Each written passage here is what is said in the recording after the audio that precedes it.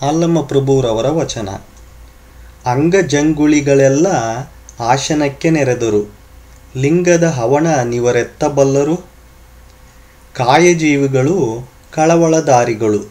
ದೇವರ ಸುದ್ದಿಯ ನಿವರೆತ್ತಬಲ್ಲರು ಮದ್ಯಪಾನವನುಂಡು ಮದವೆದ್ದ ಜೋಗಿಯಂತೆ ನುಡಿವರು.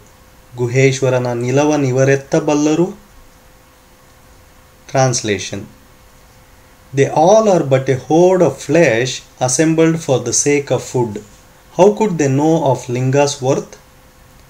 How can they know the news of God who live within the flesh and bear the frets and fervors of this world?